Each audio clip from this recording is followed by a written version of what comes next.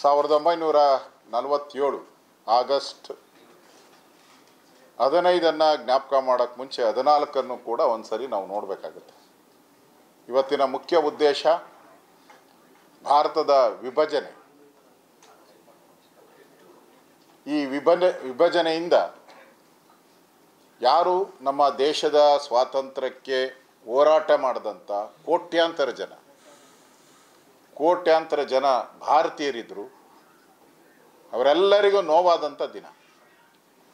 ಹೋರಾಟ ಬ್ರಿಟಿಷರ ಇನ್ನೂರು ವರ್ಷಗಳ ಆಡಳಿತದಲ್ಲಿ ಭಾಳಷ್ಟು ಜನ ಹೋರಾಟ, ಈ ದೌರ್ಜನ್ಯವನ್ನು ತಡೆ ಹಿಡಿಯುವಂಥ ಕೆಲಸವನ್ನು ಭಾಳಷ್ಟು ಜನ ಮಾಡಿದ್ದಾರೆ. ಅವರೆಲ್ಲರ ಕನಸಿದ್ದಿದ್ದು ಒಂದೇ, ಭಾರತ ಭಾರತವಾಗಿರಬೇಕು. ಅಖಂಡ ಭಾರತ ಏನಿದೆ, ಹಾಗೇ ಉಳಿಬೇಕು. ಅದಕ್ಕೋಸ್ಕರ ಹಿಂದೂ, ಮುಸ್ಲಿಂ, ಕ್ರಿಶ್ಚಿಯನ್ ಈ ಥರದ್ದು ಯಾವುದೇ ಭಾವನೆ ಇಲ್ಲದೆ ಎಲ್ಲರೂ ಕೂಡ ಸ್ವಾತಂತ್ರ್ಯ ಹೋರಾಟದಲ್ಲಿ ಧುಮುಕಬೇಕು ಅನ್ನೋ ಕರೆಯ ಮೇರೆಗೆ ಸ್ವಾತಂತ್ರ್ಯ ಚಳುವಳಿಯನ್ನು ಪ್ರಾರಂಭ ಆಗಿದ್ದು. ಇದರಲ್ಲಿ ಲಕ್ಷಾಂತರ ಜನ ಬಲಿದಾನ ಆಗಿದೆ. ಶಸ್ತ್ರಾಸ್ತ್ರದ ಮೂಲಕ ಹೋರಾಟ ಮಾಡಿದ್ದಾರೆ. ಶಾಂತಿ ಸತ್ಯಾಗ್ರಹ ಮುಖಾಂತರ ಹೋರಾಟ ಮಾಡಿದ್ದಾರೆ ತನ್ನದೇ ಆದಂಥ ದಾರಿಗಳನ್ನು ಆಯ್ಕೆ ಮಾಡಿ, ಹೋರಾಟ ಮಾಡಿ, ಭಾರತ, ಭಾರತವಾಗಿ ಉಳಿಬೇಕು ಅಂತ ಏನು ಪಣ ತೊಟ್ಟಿದ್ರು, ಇದು ಆಗಸ್ಟ್ ಹದಿನಾಲ್ಕು, ಅದು ವಿಫಲವಾದಂಥ ದಿನ ಅದು. ಅದೊಂದು ಕರಾಳ ದಿನ, ಭಾರತದ ಪಾಲಿಗೆ ಒಂದು ಕರಾಳ ದಿನ ಆಗೋಯ್ತು. ಯಾವ ರೀತಿ ನಾವು ಆಗಸ್ಟ್ ಹದಿನೈದನ್ನು ಸ್ವಾತಂತ್ರ್ಯ ದಿನಾಚರಣೆಯನ್ನು ಆಚರಣೆ ಮಾಡ್ತೀರಿ, ಸಂಭ್ರಮದಿಂದ ಸಂಭ್ರಮಿಸ್ತೀರಿ ಈಗಾಗಲೇ ಎಪ್ಪತ್ತಾರನೇ ವರ್ಷದ ಸ್ವಾತಂತ್ರ್ಯ ದಿನೋತ್ಸವವನ್ನು ಇಡೀ ದೇಶದಲ್ಲಿ ನರೇಂದ್ರ ಮೋದಿಯವರ ನೇತೃತ್ವದಲ್ಲಿ ಆಚರಣೆಯನ್ನು ನಾವು ಮಾಡ್ತಾ ಇದ್ರಿ. ಆದರೆ ಹದಿನಾಲ್ಕಲ್ಲಾದಂಥ ಘಟನೆ ನಾವು ಒಂದು ರೀತಿ ಸ್ವಾತಂತ್ರ್ಯ ಯೋಧರಿಗೆ ಒಂದು ರೀತಿ ಇಬ್ಬಾಗ ಆದಂಥದ್ದು ಒಂದು ಅಪಮಾನ ಅಪಮಾನ ಆಗಿದೆ ಅನ್ನೋದನ್ನು ನಾನು ಹೇಳೋಕ್ಕೆ ಇಷ್ಟಪಡ್ತೀನಿ ನಾನು. ಈ ವಿಭಜನೆ ಆಕಸ್ಮಿಕವ ಅಥವಾ ಪೂರ್ವ ನಿಯೋಜಿತವ ಅನ್ನೋದನ್ನು ಕೂಡ ನಾವು ಅರ್ಥ ಮಾಡ್ಕೋಬೇಕಾಗಿದೆ. ಇದೆಲ್ಲ ಬ್ರಿಟಿಷರ ಪ್ರೀ ಪ್ಲ್ಯಾನ್ ಇದೆಲ್ಲ. ಅವ್ರಿಗೆ ಭಾರತ ಬಿಟ್ಟು ತೊಲಗಬೇಕು ಅನ್ನೋ ಒಂದು ಚಳುವಳಿಯ ಮುಖಾಂತರ, ಹೋರಾಟದ ಮುಖಾಂತರ ಏನು ಜನರ ಭಾವನೆ ಇತ್ತು, ಅದರ ಸುಳಿವನ್ನು ಅರಿತು ಅವರು ಹಿಂದೂ ಮುಸ್ಲಿಂ ಅನ್ನೋ ಒಂದು ಮತೀಯವಾದಂಥ ಧರ್ಮಾಧಾರಿತ ವಿಭಜನೆಯನ್ನು ಮಾಡುವಂಥದ್ದಕ್ಕೆ ಕಾಂಗ್ರೆಸ್ಸರ ಹುನ್ನಾರಕ್ಕೆ ಅವತ್ತಿನ ಜಿನ್ನಾ ಏನಿದ್ರು, ಪಾಕಿಸ್ತಾನದ ನಿರ್ಮಾತೃ ನಿರ್ಮಾತೃರು ಅವ್ರ ಮುಖಾಂತರ ಈ ಆಟವನ್ನು ಆಡಿರೋದನ್ನು ನಾವು ನೋಡ್ತಾ ಇದ್ದೀರಿ.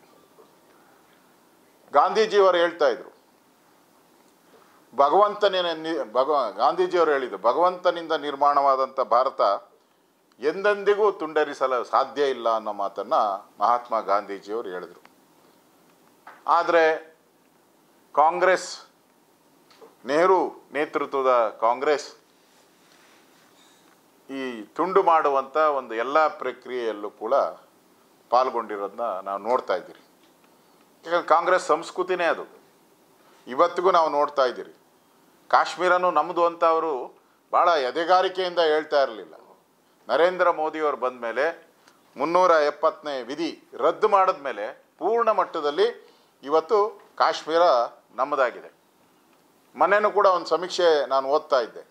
ಆ ಸಮೀಕ್ಷೆಯಲ್ಲಿ ಹಿಂದೆ ಏನು ಗಲಾಟೆಗಳು ನಡೀತಾ ಇತ್ತು, ದಿನ ಹತ್ಯೆಗಳು ನಡೀತಾ ಇತ್ತು, ನೂರಕ್ಕೆ ಎಂಬತ್ತು ಪರ್ಸೆಂಟ್ ಆ ರೀತಿ ಹತ್ಯೆಗಳು, ಗಲಾಟೆಗಳು, ಏನು ದುಡ್ಡು ತಗೊಂಡು ಕಲ್ಲೊಡೆಯುವಂಥದ್ದು, ಇವೆಲ್ಲ ಏನಿತ್ತು, ಇವೆಲ್ಲ ಪೂರ್ತಿ ಕಡಿಮೆ ಆಗಿರೋದನ್ನು ನೋಡಿದ್ದೀವಿ ಕಾಂಗ್ರೆಸ್ಸು ಇವತ್ತು ಭಾಳ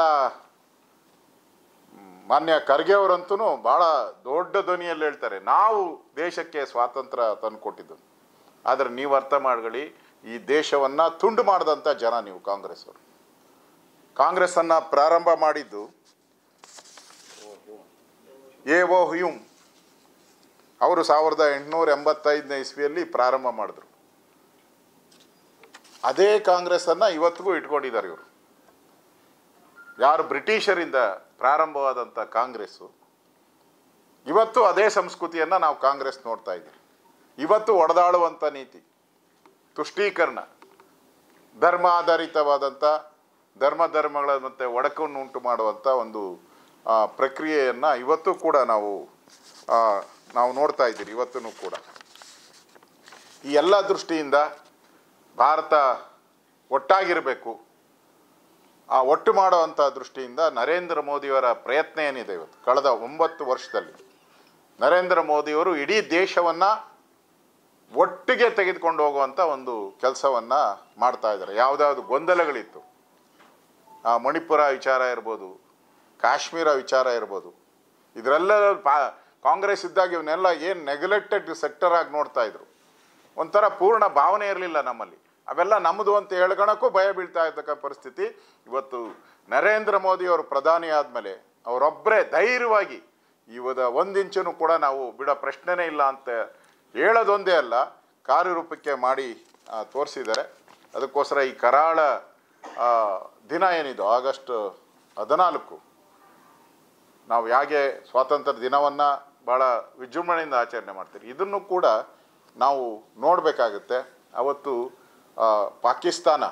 ಇವತ್ತೇನು ನಾವು ಪಾಕಿಸ್ತಾನ ಅಂತೇಳಿ, ಮಹಾಭಾರತದ ಕಾಲದಲ್ಲೂ ಅದು ಗಾಂಧಾರ ದೇಶ ಅದು. ಅಶೋಕನ ಕಾಲದಲ್ಲೂ ಕೂಡ ಅದೆಲ್ಲ ಭಾರತದ ಒಂದು ಅಂಗ ಆಗಿತ್ತು. ಅಂಥ ಒಂದು ನಮ್ಮದೇ ಭಾಗವನ್ನು ಕಡಿದು ಅವರಿಗೆ ಕೊಟ್ಟಂಥದ್ದನ್ನು ನೋ- ಕೂಡ ಕಾಂಗ್ರೆಸ್ ಪಾರ್ಟಿಯ ಪಾತ್ರ ಇದರಲ್ಲಿ ಪ್ರಮುಖವಾಗಿ ಕಾಣ್ತಾ ಇದೆ. ಅವತ್ತಿನ ಘಟನೆಗಳನ್ನು ನೋಡಿದ್ರೆ, ಲಕ್ಷಾಂತರ ಹಿಂದೂಗಳನ್ನು ಮರಣ ಹೋಮ ಮಾಡಿದೆ. ಇವತ್ತು ನಮ್ಮ ಎಕ್ಸಿಬಿಷನ್ನಲ್ಲಿ ಒಬ್ಬ ಮಹಿಳೆ ಪಾಕಿಸ್ತಾನದಿಂದ ಬರಬೇಕಾದ್ರೆ ಅವ್ರನ್ನ ಅತ್ಯಾಚಾರ ಮಾಡ್ತಾರೆ ಅಂತ ಬಾವಿಗಾರಿ ಪ್ರಾಣ ಹತ್ಯೆ ಮಾಡ್ಕೊಂಡಿರೋದನ್ನ ನೋಡ್ತಾ ಇದ್ದೀವಿ ಇದು ಒಂದಂತಲ್ಲ, ಸಾವಿರಾರು ಜನ ಈ ಥರ. ದಾರಿಯಲ್ಲಿ ಬರಬೇಕಾದ್ರೆ ಅವ್ರನ್ನ ಕೊಲೆಗಳನ್ನು ಮಾಡಿದ್ದು. ಎಲ್ಲ ಅಲ್ಲಿಂದ ಹಿಂದೂಗಳು ಮತ್ತು ಸಿಖ್ಖರು. ವಿಶೇಷವಾಗಿ ಹಿಂದೂ ಸಿಖ್ಖರನ್ನು ಗುರಿಯಾಗಿಟ್ಕೊಂಡು ಅಲ್ಲಿಂದ ಒಡೆದು ಓಡಿಸಿದ್ದಾರೆ. ನಮ್ಮ ದೇಶದಿಂದ ಯಾರು ಹೋಗಿದ್ದು ಕಡಿಮೆ, ಭಾಳ ಕಡಿಮೆ, ಹತ್ತು ಪರ್ಸೆಂಟ್ ಜನನೂ ಹೋಗಿಲ್ಲ. ಅಲ್ಲಿಂದ ಬಂದಿದ್ದೇ ಭಾಳ ಜನ ನಿರಾಶ್ರಿತರಾಗಿ ಅಲ್ಲಿದ್ದಂಥ ಮನೆ ಮಠ ಎಲ್ಲ ಬಿಟ್ಟು ಬಂದಿದ್ದಾರೆ. ಇದಕ್ಕೆಲ್ಲ ನೇರ ಕಾರಣ ಆ ನಿರಾಶ್ರಿತರು, ಆ ಸಾವು ನೋವುಗಳು. ಇದಕ್ಕೆಲ್ಲ ನೇರಣ, ನೇರ ಕಾರಣ ಅವತ್ತಿನ ಕಾಂಗ್ರೆಸ್ ಪಾರ್ಟಿ. ನೆಹರುವರ ನೇತೃತ್ವದ ಕಾಂಗ್ರೆಸ್ ಪಾರ್ಟಿ ಇದಕ್ಕೆ ನೇರ ಕಾರಣ ಆಗಿದೆ. ಇದನ್ನು ನೆನಪು ಮಾಡಿಕೊಂಡು ನಾವು ಸ್ವಾತಂತ್ರ್ಯ ದಿನಾಚರಣೆಯನ್ನು ನಾವು ಆಚರಣೆ ಮಾಡ್ತಾ ಇದ್ದೀರಿ. ಪ್ರಧಾನಮಂತ್ರಿಗಳ ನೇತೃತ್ವದಲ್ಲಿ ನನ್ನ ದೇಶ, ನನ್ನ ಮಣ್ಣು. ಮೇರಾ ದೇಶ್, ಮೇರಾ ಮಾಚಿ. ಹಾಂ, ಮಾಟಿ. ನನ್ನ ದೇಶ, ನನ್ನ ಮಣ್ಣು.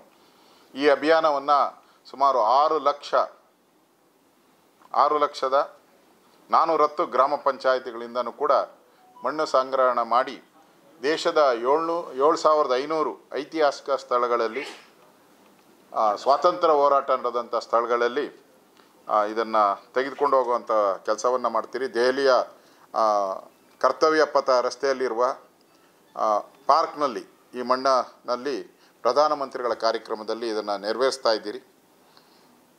ಅದೇ ರೀತಿ ದೇಶ ವಿಭಜನೆಯ ಒಂದು ಇತಿಹಾಸವನ್ನು ಕೂಡ ಆ ಪ್ರದರ್ಶಿನಿ ಇದೆ ಅವತ್ತು.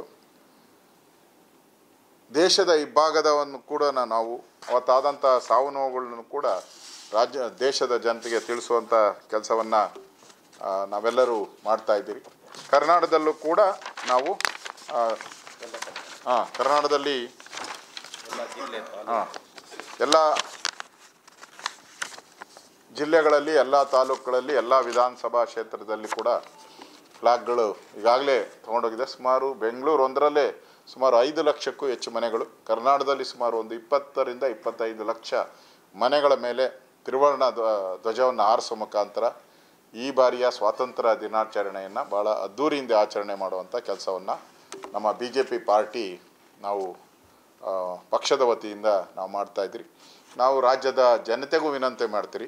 ಎಲ್ಲರ ಮನೆಯಲ್ಲೂ, ಮನೆ ಮೇಲೂ ಕೂಡ ತಿರಂಗ ಧ್ವಜವನ್ನು ಭಾಳ ಗೌರವದಿಂದ, ಹೆಮ್ಮೆಯಿಂದ ಆರಿಸುವಂಥ ಕೆಲಸವನ್ನು ನಾವೆಲ್ಲರೂ ಕೂಡ ಮಾಡಬೇಕು. ಸಾಮಾನ್ಯವಾಗಿ ನಮ್ಮ ಆಟೋ ಡ್ರೈವರ್ಸ್ ಇರ್ತಾರಲ್ಲ, ಯಾರು ಹೇಳಲಿಲ್ಲ ಅಂದ್ರೆ ಅವ್ರು ಹಾಕ್ತಾರೆ. B M T C K S R T C ಡ್ರೈವರ್ಗಳು ಇರ್ತಾರೆ. ಸ್ವ ಇಚ್ಛೆಯಿಂದ ಅವ್ರು ಹಾಕ್ತಾರೆ. ಅದೇ ರೀತಿ ನಾವು ಕೂಡ ಎಲ್ಲ ಮನೆಗಳ ಮೇಲೆ ತ್ರಿವರ್ಣ ಧ್ವಜವನ್ನು ಹಾರಿಸೋ ಮುಖಾಂತರ ಭಾರತದ ಒಗ್ಗಟ್ಟನ್ನು ಎತ್ತಿ ಹಿಡಿಬೇಕು. ಭಾರತಕ್ಕೆ ಭಾರತ ಧ್ವಜಕ್ಕೆ ಸಲ್ಲಿಸುವಂಥ ಗೌರವವನ್ನು ಇನ್ನಷ್ಟು ದೊಡ್ಡ ರೀತಿಯಲ್ಲಿ ನಾವೆಲ್ಲ ಮಾಡಬೇಕು. ಅದರ ಪ್ರಯುಕ್ತವಾಗಿ ಆಗಸ್ಟ್ ಹದಿನೈದು ಇಡೀ ರಾಜ್ಯದಲ್ಲಿ ಎಲ್ಲ ಕಡೆಯಿಂದ ನಮ್ಮ ಪಕ್ಷದ ವತಿಯಿಂದನೂ ಕೂಡ ನಮ್ಮೆಲ್ಲ ಶಾಸಕರು, ಎಲ್ಲ ವಿಧಾನಸಭಾ ಕ್ಷೇತ್ರಗಳಲ್ಲಿ ಕೂಡ ಈ ಕಾರ್ಯಕ್ರಮವನ್ನು ಹಮ್ಕೊ ಹಮ್ಮಿಕೊಳ್ಳುವಂಥ ಕೆಲಸವನ್ನು ನಾವು ಮಾಡ್ತಾ ಏನಿದೆ ಓಕೆ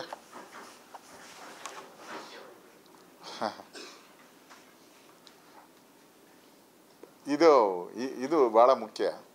ಕೇಳ್ಬೋದು, ಆದರೆ ಇದು, ಅದೇ, ಇದಕ್ಕಿಂತ ಇದು ಭಾಳ ಮುಖ್ಯ.